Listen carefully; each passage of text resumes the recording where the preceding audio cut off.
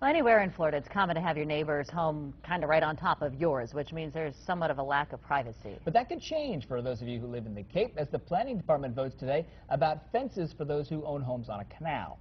And Wink News reporter Nicole George is live outside the City Hall with a preview of those details. Good morning.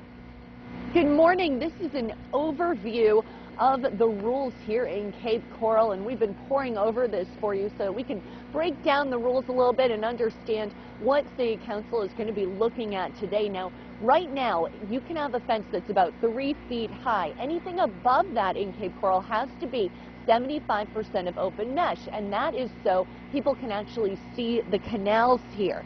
Now, if you want a full-size fence, it has to be 20 feet in from the seawall right now. If today's vote is passed, the city would allow fences 7 feet from the seawall, which means more privacy for residents. And there are 400 miles of canals here in Cape Coral, so this affects a lot of people and a lot of people's privacy. This meeting begins here at 9 o'clock this morning. We will be inside that meeting and we will bring you all the latest today on Wink News this morning and also on Wink at noon uh, today as well. We are live here in Cape Coral. Nicole Papageorge, Wink News this morning.